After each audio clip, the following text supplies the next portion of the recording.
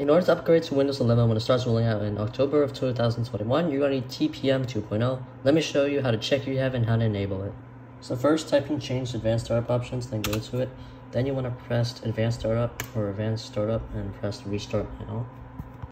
Now go to troubleshoot, advanced options, then UEFI firmware settings. Sorry, that sound you heard was a notification. Now what you want to do is find something along the lines of TPM or security device. This will be different for all manufacturers, but uh, mine is under peripherals, then it's called AMD CPU FTPM, then just press enabled. And um, you might need to go and disable CSM support as well.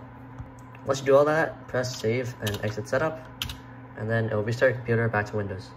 Now go to Windows Security or Windows Defender, enter it, go to Device Security, click Security Processor Details, and if you have specification version 2.0, then you have TPM 2.0 and you're eligible for Windows 11. Hopefully this helps, follow for more, and share this with someone who needs it.